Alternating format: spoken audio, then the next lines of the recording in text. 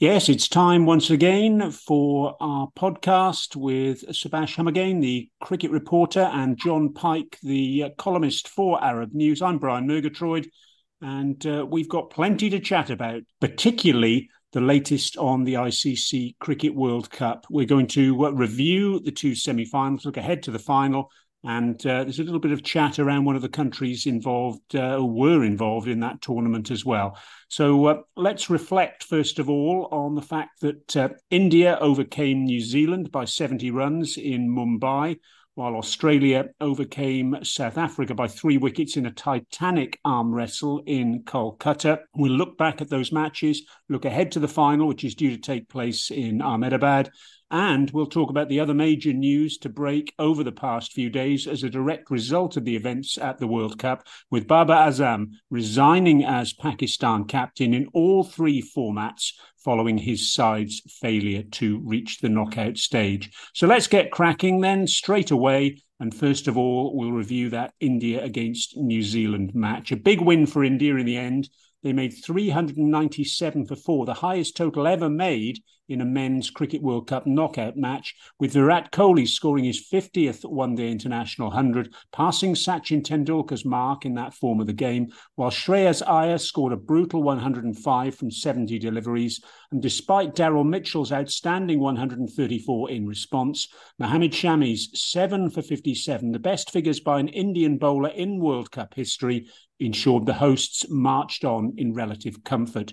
Jon, Kohli, Shreyas and Shami took the headlines, but was the match effectively won inside the first 10 overs thanks to Shubman Gill and Rohit Sharma? They added 84 in that time, and you just got the feeling that New Zealand were on the back foot ever after. Well, as soon as I saw that India had won the toss, I sort of thought game over. We've discussed New Zealand's bowling has not been as strong as, as in previous years and to have a look at being more suited to New Zealand or, or English conditions than Indian, uh, and it, it's turned out that way. They never really recovered, as you said, uh, despite showing their customary resilience to get within 70 runs. And the way that India played top of the order, really quite reminiscent of how England used to play with, you know, with Roy and Bairstow and, and Alex Hales. Sabash, there was plenty of chat immediately before the match about the fact that uh, the game took place on a used pitch rather than a fresh surface. But did it prove to be a factor in the end? Uh, I wasn't sure that it did. Yeah, the decision came just one day before the match. That was more surprising. It was not mandatory to use the fresh surface, but uh, to have such a change just a day before, uh, I think it will surely disturb the mental state away from the team. But uh, I think uh, ICC's independent representative approved the change and looking at the game it didn't have any effect in the numbers. Should have bothered kiwis a bit uh, before the game but we saw 700 odd ones and both team had the chances in the game. So in the end the change didn't advantage india like there were rumors but uh, the lead up i think it didn't look fair for the kiwis Jon, talk to us about Virat Kohli. It's his third hundred of the tournament. He's now surpassed Sachin Tendulkar's record for most runs in a single edition of the Cricket World Cup, and he's now got 80 hundreds at international level. How good was this innings, and, and how well is he playing? That's 50 in eight out of 10 innings in this tournament. He's clearly uh, a man at ease with life. It took a while, I think, to come to terms with the nasty business over the captaincy and, and the uh, relationship or non relationship with Ganguly. I think once he's settled that down, he said publicly that he would concentrate on his batting. He's also redoubled his fitness regime and diet. I think he's now something 13 kg lighter than a few years ago. And the surprise is that he actually gets out. I mean, he is now 35 celebrated the birthday with a century, November the 5th in Calcutta against South Africa. He's been playing ODI cricket, forget since 2008. We're talking about 15 years. Now, 279 innings, nearly 14,000 runs, an average of 58.7. That gets him, I think, third in the averages list, um, with Shubman Gill being second, interestingly. As you mentioned, only Sachin has scored more runs, over 18,000 but a lower average in a, in a different era. So Kohli obviously playing exceptionally well, an adoring audience both in the stadium and on social media on a on a, both a global and sort of a horrible word, global, but um, playing in India on a global stage. What's incredible also is that his reputation as a finisher is getting stronger. His average is 64 when India have been chasing. Personal mantra is you know, striving for better, and um, clearly he's doing that. Yes, Subash, he's now 20 hundreds away from scoring 100 hundreds at international level. That's something only Sachin Tendulkar has done. Can he get there, do you think? Uh, Brian, if you asked me this question a few months ago, I'd say there's no chance. But the way he's rejuvenated his form, I say there's a chance of reaching 100 hundreds. Uh, he's been deemed the face of cricket when the game was introduced in LA 28 Olympics, which suggests he might be around the game for a few more years, and he's proved that to be the main man in batting Indian batting lineup even today, and he's got the numbers in recent years as well. And to add up, I think his grit and determination, or should I say his hunger to get those three figures, is different to others. And the celebration after every hundred seems like he's got the first one just now. So I think I feel we'll see more of these hundreds from him. Jon, New Zealand had no answer to India's batting onslaught, especially against Kohli and Shreyas Iyer. That pair added 163 in 21 overs. Is there anything they could have done differently? With the team they had on the field, probably not. They needed quality spin. Didn't play Sodhi, but would he have made much difference? Maybe marginal. I just think they were blitzed by the, the Indian juggernaut, and Kane Williamson press conferences pretty well said that. And Subash, when India bowled, Mohammad Shami continued his incredible form with those seven wickets. He's now the leading wicket taker in the tournament. Just talk to us about him. Brian, if you remember, I had said in our podcast that India should be playing Shami even before Hardik's injury paved the way. Shami showed the way why he is still the best seamer India has. I think uh, He's the leading wicket takers despite missing first few games, and he's not just taking the wickets. I think he's unsettling the opposition batters. He's not just experimenting. He knows his uh, disciplined bowling, and that has reaped rewards. And I think semi-final game, semi wickets in a pitch where two batters got centuries in the first inning. I think that's tremendous effort to get India back in the game and into the finals. And he could be the main man India will look if they want to trouble the Australian batters in the final. And for what he's gone through off the field, I think it's nice to see Shami perform and get back to his best. Yes, outstanding stuff from him. And outstanding too from Daryl Mitchell. Jon, it seems unfair that he had to end up on the losing side, but his innings was still one that should be spoken about for years to come. It was his second hundred of the tournament against India. In fact, he's the only player to reach three figures against them. How well did he play? Well, superbly. He's a great competitor superb innings, but you know, all too much to ask, even with uh, somebody with um, with his ability and temperament. Whenever I watch New Zealand, whenever he comes out to bat, I think there's a, there's an air of, of expectancy uh, uh about what he will do. I think there's you know, he, he uses class, uses determination and and, uh, and technical ability, but it was all rather too much on the day. Indeed, it was a brave effort by New Zealand, but uh, another semi final loss for them, their seventh, while India march on to their fourth final, following on from 1983, 2003, and 2011. On now to South Africa versus Australia, the second semi final, and that was a complete contrast with the first. It was a real contest between bat and ball, with both spinners and seamers enjoying the conditions. Josh Hazlewood was once again outstanding for Australia. He's been superb in the tournament for them. Two for 12 for him. Mitchell Starc was excellent as well. He took uh, three for 34. They helped reduce South Africa to 24 for four before David Miller's sixth one day international 100 helped the Proteas reach 212, and that turned out to be just within Australia's range. Australia got away to a flying start thanks to David Warner and Travis Head, and although South Africa's spinners, Tabraiz Shamsi and uh, Keshav Maharaj bowled superbly, they took three for 66 between them in their 20 overs. Australia scrambled over the line thanks to Steve Smith, Josh Inglis, uh, Mitchell Starc and captain Pat Cummins. Jon, South Africa will rue the start they made with the bat, 24 for 4, as we've mentioned. It was always going to be an uphill battle for them to get into the match after that.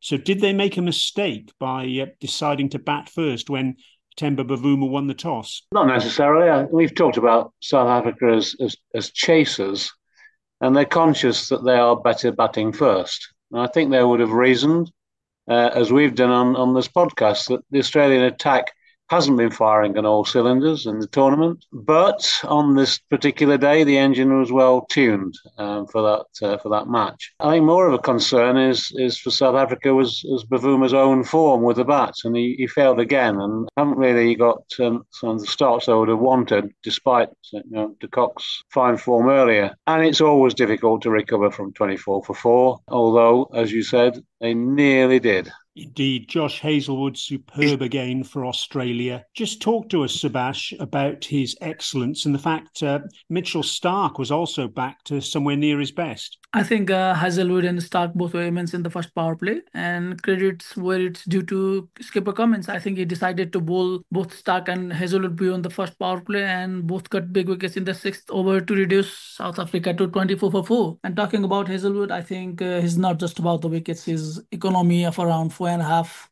a strike bowler who's opening the bowling and in the death over is going under five. And in tournament that has seen 300 plus scores in a majority of the games, I think that's commendable effort from Hazlewood. Uh, he's gone wicketless just twice in this tournament, and even on those wicketless games, uh, he has had tight spells, and you can't ask much from a seamer who's playing every game. And Starc, I think he gave us a glimpse of that 2019 World Cup version, and Australia would love to see this partnership repeat against Rohit and Gill in the finals. Absolutely. Now, we've spoken already about Daryl Mitchell and how unfortunate it was that he was on the losing side after his brilliant 100. Well, the same's true of David Miller.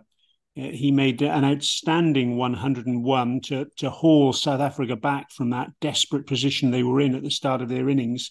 And interestingly enough, he was one of the few players in this tournament to uh, collar Adam Zampa, just wondering if India will uh, have a look at that and uh, take a few lessons from it moving into the final. But David Miller, a great effort from him from that situation that South Africa found themselves in, Jon. He'll surely feel that he didn't deserve to be on the losing side. As you mentioned, he hauled uh, them back into contention, almost a total that uh, was uh, competitive enough uh, for Australia, and he, he seemed to be in a different class against the spinners. But again, not quite enough. Sebash chasing 213 to win. How crucial was it for Australia in the final analysis that they got that start from Warner and Head rattling along at 10 and over in the first uh, six overs? It just took scoreboard pressure completely out of the equation, didn't it? Yeah, I think they did what South Africa failed to do in the first innings. Uh, the start uh, that they had gave Australia a mental edge in the chase. And it was going to be tough batting second late on, and we saw why uh, the middle order struggled as well. So Head and Warner attacked early, and they didn't just reduce the margin, but helped uh, unsettle the strike bowlers as well. And when you've got 212 to defend and best bowlers are getting attacked, there will be enforced changes. South Africa came back with the spin of Markram, Shamsi, and Maharaj, but I think Head's inning was the difference because the run that they put on early, I think Australia had just keep on the chase, just Martin, and I think at the end played their overs and got to the win. Sebash, I'll ask you this as well. Australia into the final, but surely they'll reflect upon some of the shots their batters played. Steve Smith, Marnus Labuschagne in particular. They made it harder for themselves perhaps than they needed to. Yeah, I think. Uh they should have just stayed and I, the the way they had the start i think uh, they got carried away. And the nature of smith and Labuschagne i think they're the last ones to expect that uh, just uh, wrong shots in wrong position. I think they had just uh, waited on and uh, was the spinners away. I think they would have been home. But with the selection dilemma, I think uh, Smith and Labuschagne are under fire and they've not got big scores in late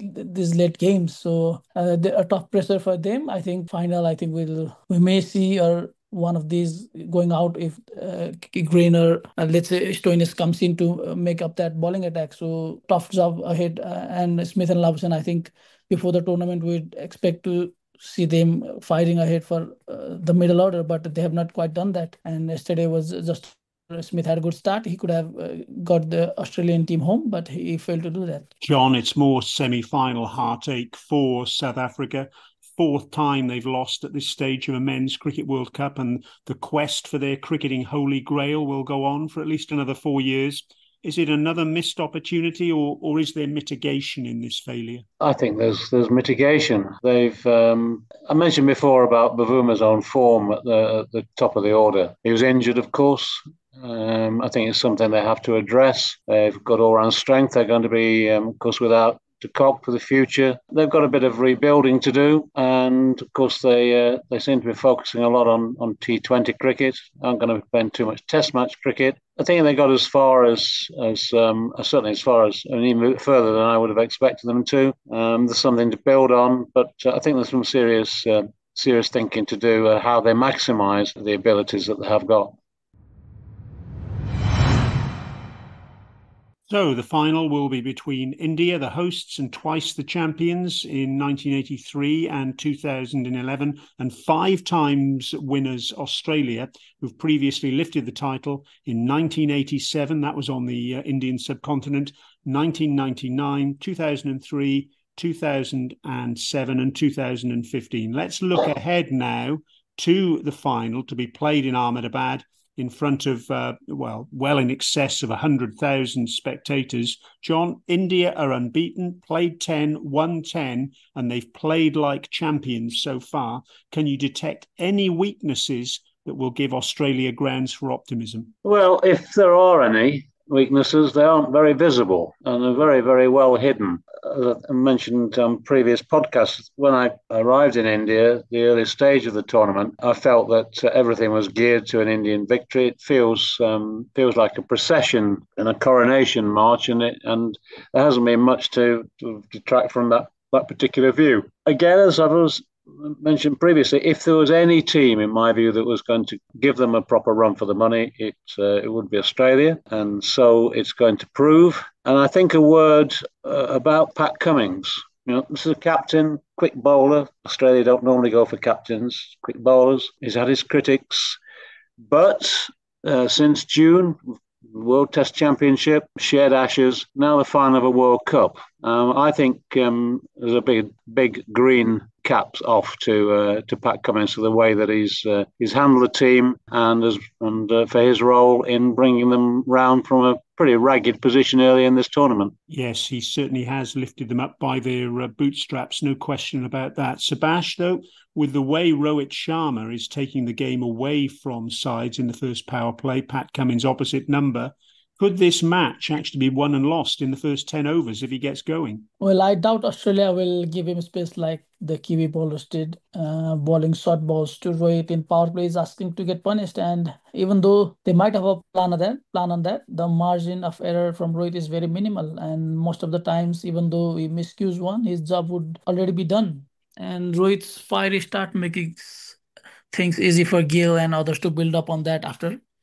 And if his run flurry doesn't end soon, I think India will be on top and Mammoth total against Australia won't be far away. So Starc and Hazlewood, I think they've got a big job in their hands and they've been uh, troubling Rohit Sharma. But it's the final, it's in Ahmedabad and thousands and thousands of people will be there. So I think uh, Rohit Sharma would love to score one, but it's not easy as it has been. Jon, what about the fact that India have relied on five frontline bowlers to power their progress? Yes, there were some part timers who had a bowl against the Netherlands, but primarily it's the five of Jasprit Bumrah, Mohammad Siraj, Mohammad Shami, Ravindra Jadeja, and uh, Kuldeep Yadav who've done all the heavy lifting how good have they been individually and collectively, and, and can any of them be got at by Australia? Well, is uh, clearly the, uh, the star of the show at the moment, as uh, has mentioned. 23 wickets at 9.13, which is just uh, extraordinary. Jadeja's got 16 wickets at 22, Bumrah 18 at 18, Siraj 13 at 33, which is um, not quite up with the others and Yadav 15 at 25. Who would Australia target? I don't think they target anybody. I think they just have to be aggressive uh, and not rash. And as uh, Subhash has indicated, I would imagine that the first ten overs of uh, of each of the innings is going to uh, is going to be a great determining factor in the outcome. Subhash, India have coped comfortably with the pressure of being hosts and favourites thus far. With the realization they're so close to glory, can they maintain that relaxed and so far successful mindset, do you think? I think they can because India have not just won 10 on the trot, they've glided past the opponents. Uh, they're in top form without a doubt. And it was Australia that gave close to giving them a challenge in the league stage. But I think that Kohli's dropped catch proved decisive, and uh, Australia have come back from that situation as well. And India at the moment are not just performing in the pitch, but the dressing room environment is great too. We've seen bits in social media. The environment inside the dressing room is amazing. They're having fun on the pitch and off it as well, and that helps bring out their best. Uh, you can take an example of Ishan Kishan. So he could have walked away into any batting lineup in this World Cup, but he's happy sitting outside, uh, getting these drinks, uh, coming up and fielding. Uh, they've sorted upper middle order, but the only issue that India would be tested is I think their lower middle order. They have not got chance to finish any game. It would be a question, but uh, apart from that, I think India is a step ahead. They're playing the finals in 130k odd Ahmedabad, and we may see the repeat of 2011 for what's in the stake for Virat Kohli, Rohit Sharma,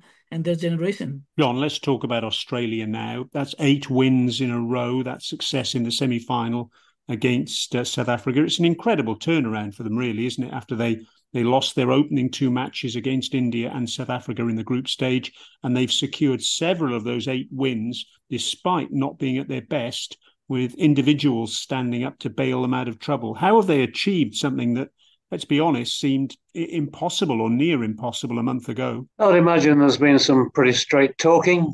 They were rusty, even tired, and they've several of them continued looking a bit tired uh, in, in uh, recent matches. But uh, unlike England, they regrouped and got better and better. I don't think everything's still in place. We've talked about the issue in the middle order, whether that will come home in the final. We'll have to wait and see on the final selection. And of course, there's the issue of uh, of temperament. How they're going to be faced, how they're going to cope with being faced with a, a sea of expectant blue shirts, all you know, hundred thousand or so of them. But if anyone can challenge India, they can. Sebastian, does the Australian bowling, Hazlewood and Zampa apart, convince you they can cause damage to the Indian top order? As that's surely one place where the match could be won and lost. Uh, they did have India, if you remember, two runs for three wickets in that earlier meeting in Chennai. Mm, yeah, Brian, as I've mentioned, uh, that game, I think uh, Kohli's dropped catch was the real decider. Uh, India could have been in big, big trouble if Kohli was out there. And uh, Hazlewood and Zampa, I think Australia's bowling has been dependent on them for wickets as well as getting the runs uh, stopped. But in semi, I think uh, Travis Head's uh, spell was a real decider. He got the much needed wicket, that breakthrough. But in the finals, I think without and Green, Maxwell is favourite to fulfill that fifth bowler quota. And if someone like Zampa, uh, we saw uh, in the semi-finals get uh, punished, they they have option. Marsh is also an option to get that. But I think all depends on how good start they will get in the first ten. And Starc and Hazlewood have one job remaining is to get through that power play, maybe get a wicket uh, Rohit Sharma. That would be amazing for them. But uh, Cummins, I think, is yet to have a big say in this tournament. He was there in the opposite end in Maxwell's innings, but with the ball, I think is yet to get a big game, and we might see a captain's charisma in the final. Jon Marnus Labuschagne was uh, preferred to Marcus Stoinis in the semi final. He'll be disappointed with the way that he got out as will uh, Steve Smith as well. Do you expect Labuschagne and indeed Smith to retain their places in the final? Especially, uh, of course, they offer a great deal in the field, Labuschagne and Smith. Do you think Australia, on the other hand, might look at Stoinis's more explosive potential with the bat and his medium paces as a better option? And there's Green as well, of course, Cameron Green. Let's not forget him. Yeah, I don't think Green's going to get in. He's a shadow of himself at the moment. It's a tough one between Stoinis and, and Labuschagne. They seem to have gone with, with, with Marnus. Didn't do himself any favours in the previous match. I suspect they're probably going to stick with him is probably a better bet against India's attack. And Subash, we, we've already spoken about Rohit Sharma as a key player for India to set the tone when they bat. How crucial could David Warner and Travis Head be in the same way for Australia to put India's bowlers under pressure? We saw them do that against South Africa in the semi final, and, and it paid rich dividends. Uh, Head and Warner, I think Warner especially loves playing in India, and between these supporters is loved by them too. But the, the final, it will be different. The crowd will be against him, and he's a big game player. Head uh, has been outstanding since he's come to open the innings, and even in the semi finals, they were the difference in Australia's win. And if these two falter, I think the rebuild along the with getting runs for Australia will be a tough one, the way the middle order has been performing in recent games. And talking about India's bowling, I think uh, they start with Siraj and Bumrah, but if things don't look right, they can move to Shami as well. We've seen three bowl in the first 10 overs, something that other teams rarely do. So uh, I think uh, Warner uh, and Head will try to get overs with uh, target Siraj, who's not been in top form lately, but it's the crowd and the pressure if they can handle it, I think uh, Indian bowlers will not be a big tough for them. Prediction time now, gentlemen.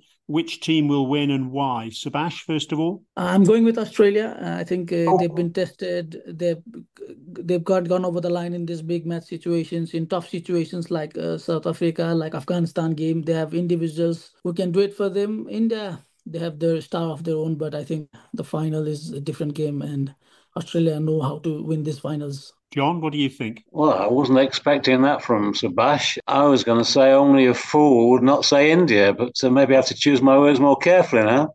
Um, as you will recall, Brian, um, at the start of the tournament, I went with a, a left field early prediction of Australia. I think um, to a degree of surprise from yourself, saying, uh, Why? How do you come to that conclusion? And here we are. I have to say that I that when saying that, I didn't realize just how good India were going to be, and and they they really are one of the great ODI sides of uh, of all time, and uh, it would I say be a fool to bet against them be, it would be a surprise for Australia to uh, to win, I think. But I have to stick with my early prediction. So it's quite amazing that both of us uh, would say Australia. So um, I, I'm, I, in, if that's going to be the case, I can only say that I'll be very pleased not to be in India if that comes around.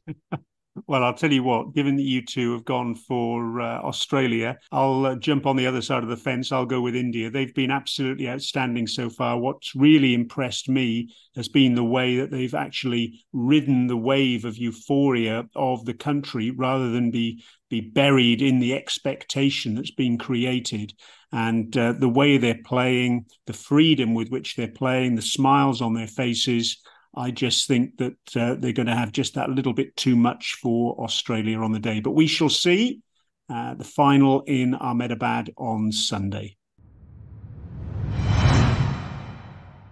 One other major news line since our previous podcast has been Babar Azam stepping down as Pakistan captain in all three formats after his side's failure to reach the last four of the Cricket World Cup.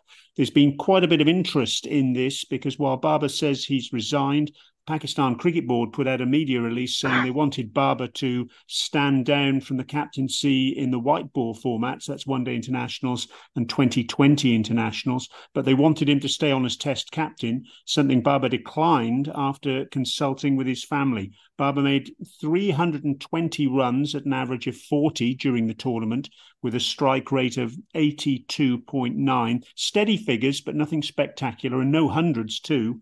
Jon, is Babar's uh, demotion, resignation, however you want to put it, is it a surprise? I don't think it is. The only element of surprise was that Mickey Arthur had said that um, uh, Babar needs to be taken on a, on a journey with the captaincy, which um, sort of suggested that uh, that Arthur was really banking on him continuing as captain. So it does appear as if there have been um, some moves behind the scenes to uh, demote Babar. I guess his form has dipped. As you mentioned, his performance in the World Cup was nothing special from a man with his talents. I suspect it might just come of a bit of a welcome relief for, for the man himself. It's a heavy burden to carry, both being captain of, of Pakistan and also being able to perform to the best of his abilities. Sabash, isn't the truth really that Babar was handicapped more than anything else in the Cricket World Cup by the absence of uh, Naseem Shah? And had Naseem been fit, we could well have been looking at a totally different outcome. I think Pakistan missed out semi-finals by slim margin. Uh, if one of those tight games uh, went their way, I think the story would have been different. And Naseem Shah, I think he was certainly a big miss sign, and Naseem's partnership would have been great for Pakistan, uh, especially at the start. And Babar was also out of date with the squad selection. They tried and tested, but didn't get much performance from other players as well. Uh, it's pity that he's resigned, but I think uh, it's not what as it looks. Uh, you don't get two new captains within two hours of resignation from the last one. Yes, uh, this, as you mentioned there, Subhash, uh, the Pakistan Cricket Board have been very quick off the mark. Jon uh, Shan Masood's been named as Test captain, Shaheen Shah Afridi as 2020 international captain with the, the T20 World Cup in the Caribbean and the USA next year on the radar already. What do you make of those appointments? Well, Shan Masood is another of uh, Mickey Arthur's sort of proteges. It took him to Derbyshire and uh, it did well with Derbyshire. And then was the sort of surprise move to uh, to Yorkshire as captain. He's pretty untried, both internationally and uh, and as a leader. So that's um that's a rather I think a bit of a left field move. Afridi T20, I think, makes makes a lot of sense for the tournament next year. He seems to have been um, not quite uh, himself, sure about the dressing room harmony under uh, Babar So uh, I think uh, for the T20, yes. The other one with Shan Masood looks um, pretty risky to me. Yes, it's an interesting call that uh, both those players have been moved into position very, very quickly indeed. Subas, do you actually think, as, as Jon alluded to a bit earlier, that uh, Babar stepping down as captain or, or resigning or being sacked, however you want to, to phrase it, it, could it actually be a good thing for Pakistan cricket? It, it'll free up their best batter, surely, from responsibility and allow him to return to his best form. In a way, it's nice for Babar, the batter, to get freed up. I think uh, uh, he'll get a bit of freedom, but I don't think that really had effect on his game recently. He's a proper leader, and I think that uh, has never hampered his performance. Uh, the thing now is he'll have two new captains, and he needs to gel into a bit new environment with him being out of captaincy. And he has numbers with the bat. Uh, hopefully, he'll better those numbers now. But uh, will the new leaders be able to get that result, desired results for the team? Because after all, the captaincy has been changed to get the better results. Uh, Babar may get uh, better numbers with the bat, but will the team get the desired results? Yes, that's the $64 million question. And I guess we'll find out as uh, time goes on. So there you have it. Next up is the Men's Cricket World Cup final and I'm sure you're looking forward to it as much as we are here at The Wicket. We'll be back with all the wash up from that final in our next episode, as well as more cricket chat from the Gulf region, Asia, and worldwide. Please don't forget to like, subscribe, and comment on what you've heard wherever you get your podcasts. And we'd love to hear your feedback. Let us know too if there's anything you'd like us to feature in future episodes. For now, though, this is Brian Murgatroyd along with Jon Pike and Subas Humagain saying thank you for listening, and we look forward to your company next time.